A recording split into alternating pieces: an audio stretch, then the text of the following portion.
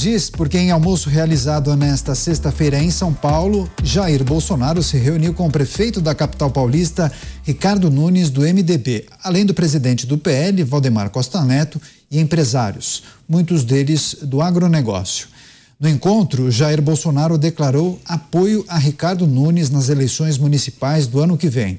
A gente relembra né, que o deputado federal Ricardo Salles, que é do mesmo partido de Jair Bolsonaro, o PL, e ex-ministro também da gestão dele, também almeja disputar o pleito pela Prefeitura de São Paulo. Em algumas entrevistas, ele ressaltou que conta com o apoio do ex-presidente Jair Bolsonaro. Então, vamos repercutir esse assunto com os nossos comentaristas. Evento que aconteceu em São Paulo e o ex-presidente Jair Bolsonaro manifestando apoio a reeleição de Ricardo Nunes como prefeito eh, da capital paulista.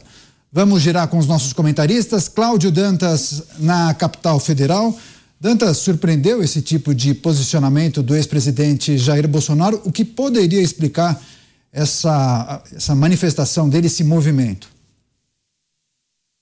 Muito bem, Daniel. O que acontece é o seguinte: o, a gente tem de entender que nós estamos numa fase ainda muito preliminar, muito preliminar, é, do que podemos dizer é, até de uma pré-campanha para é, as eleições de 2024. Essa fase preliminar, ela tem a ver com a viabilização de certos nomes, com testes que são feitos, balões de ensaio, articulações, a capacidade de articulação dos próprios candidatos ou pré-pré-pré-candidatos é, então esse esse esse jogo está muito ainda embrionário, é um jogo ainda é, preliminar, é, nem, nem jogo é, na verdade, né? É quase como se fosse um treinamento. O Ricardo Salles, ele é, vinha e vem aí, né? Com, como se colocou até como um candidato, como um nome para concorrer aí, para disputar a prefeitura de São Paulo. Hoje, de fato, o Bolsonaro ele se manifestou dando apoio ao Ricardo Nunes e o questionamento foi justamente por quê?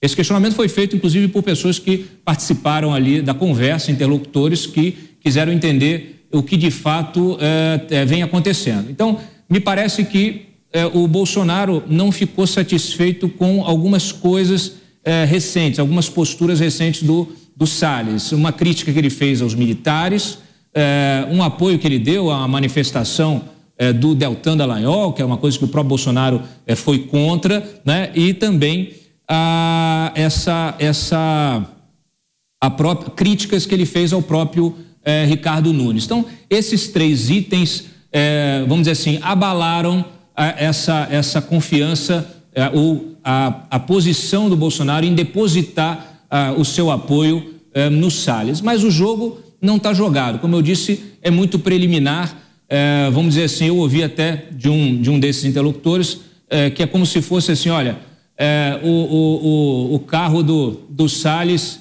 ele furou o pneu e está encostado agora, vai ter que trocar o pneu, mas pode voltar para a corrida. Como eu disse, a gente tem um caminho ainda bastante é, longo para definição de qualquer nome é, é, nessa disputa aí para, pela Prefeitura de São Paulo. Naturalmente, no caso de um apoio ao Nunes, o Bolsonaro vai querer indicar o vice. Isso me parece bastante claro. E aí a gente tem de tratar justamente sobre que tipo de composição pode haver para agregar o máximo de eleitorado, porque a disputa vai ser uma disputa dura com o Guilherme Boulos. Pois é, agora, Tiago Pavinato, como avalia essa manifestação de Jair Bolsonaro? Esse posicionamento quer dizer alguma coisa? Bom, primeiro nós precisamos saber se ele de fato é, declarou é, que vai apoiá-lo. Segundo, se ele o fez, em quais condições? Porque eu pergunto. Já no começo do mês, teve um almoço com o Nunes, o Valdemar Costa Neto e o Bolsonaro aqui em São Paulo, um restaurante aqui dos Jardins, bairro onde fica a emissora. Nesse almoço, poderia ter se dito muita coisa, mas nós não temos nada disso. Hoje, eh, com o Tarcísio de Freitas, Bolsonaro compareceu a uma solenidade policial e foi convidado para um almoço com o Ricardo Nunes. Se uma pessoa me convida para o almoço, é uma pessoa que tem um mínimo de liame é, ideológico ou de administração da coisa pública, eu falar, olha, eu vou, vou me candidatar a prefeito, você me apoia? Eu falo, apoia. Até porque não é nenhuma declaração oficial, talvez para não estragar o almoço, não estragar aquele momento, mas eu duvido é, que isso tenha acontecido. Em terceiro lugar, é, eu acho que esse call, essa, essa escolha não é do Jair Bolsonaro. Quem escolhe quem vai ser o candidato a prefeito ou não é o Valdemar da Costa Neto, que estava com ele, tanto no primeiro almoço, no começo de maio, quanto nesse, no de hoje. Então eu acho bastante, eu acho bastante prematuro né, a gente dizer que o Bolsonaro está apoiando um ou outro, pode até ser, ter dito que apoia, mas uma circunstância que não tem é, é, é peso é, é, nenhum. Eu acho que esse tipo de, de declaração nesse momento só desgasta a atuação brilhante que o deputado Ricardo Salles está desempenhando na CPI do MST. Não é que ele tem, de fato, esgarçado e colocado o dedo dentro da ferida ali naquele, naquele palco que tem se formado por conta dos parlamentares apoiadores do governo Lula e, portanto, apoiadores é, do MST. É, esse, essa é uma decisão. Quem o, de, o Bolsonaro vai apoiar ou não é uma decisão do Valdemar da Costa Neto. Então, eu acredito que se o Valdemar da Costa Neto o disse, o disse porque o sente, porque é o Valdemar da Costa Neto e Valdemar da Costa Neto não é o Jair Bolsonaro. Então, mesmo que tenha se dito alguma coisa por mera cortesia para não estragar o almoço ou não alterar o sabor do vinho, esta é uma situação que não quer dizer absolutamente nada para a corrida eleitoral aqui na capital no ano que vem.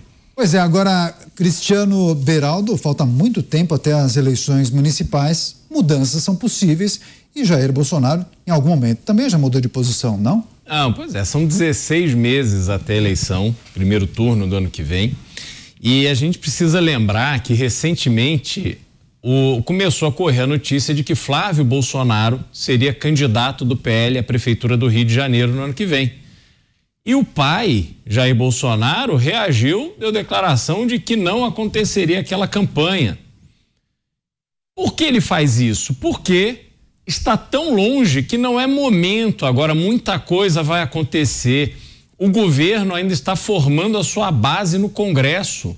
É impossível saber quais partidos estarão com Lula, quais partidos ficarão na oposição, como é que cada um vai se comportar, como é que você vai pensar em alianças com tanto tempo e tantas incertezas.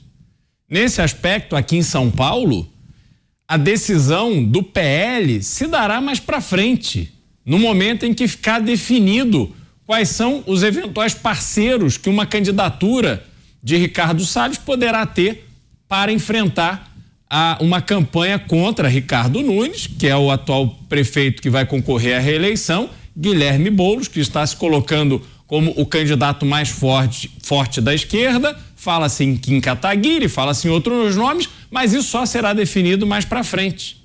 E Ricardo Nunes, que tem um problema interno a resolver, está ensaiando aí, mandando mensagens de rompimento com Milton Leite, que é o comandante supremo do União Brasil em São Paulo, que foi o seu padrinho político. E esse racha, se houver, ele também tem impacto nesse cenário eleitoral. Então é tudo muito prematuro, é tudo muito precoce. E essas manifestações, essas declarações, sinceramente, a essa altura, não querem dizer nada. Olha, tem mais. Eu falei com um amigo do Valdemar da Costa Neto, é, muito próximo, aliás, foi presidente do PL antes do Valdemar. Ele disse que é, é, a tentativa do Valdemar Costa Neto é desfiliar o Ricardo Nunes do PMDB e talvez trazê-lo para o PL. Então, é, não sei qual é a circunstância em que isso se deu.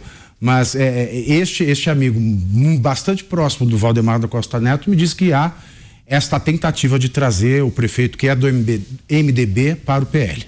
Pois é, agora para fechar esse assunto, o Mota está lá no Rio de Janeiro. Mota, claro, os veículos, os portais de notícias repercutem. Tem até uma aspas eh, atribuída a Jair Bolsonaro, na verdade, ao presidente do PL. Ricardo Nunes é muito querido Aí uma outra fala que Jair Bolsonaro teria dito a aliados que Nunes é um bom nome para 2024, mas como os nossos colegas disseram, falta bastante tempo até lá e muita água eh, vai rolar sobre essa ponte. Qual é a sua avaliação em relação a essa notícia, hein, Mota? Eu voto com os meus colegas. Muita água ainda vai rolar nessa história. É, é totalmente normal que aconteçam conversas e articulações. O apoio do presidente Bolsonaro continua tendo um peso enorme. E a eleição para a Prefeitura de São Paulo vai ter um simbolismo muito grande. Ela é de muita importância no quadro político do país. É, ter um prefeito alinhado com o governo do Estado daria a Tarcísio, daria a São Paulo a oportunidade de dar um salto enorme em termos de, de desenvolvimento, e de ordem. Essa eleição é muito importante para a consolidação da trajetória política do governador Tarcísio.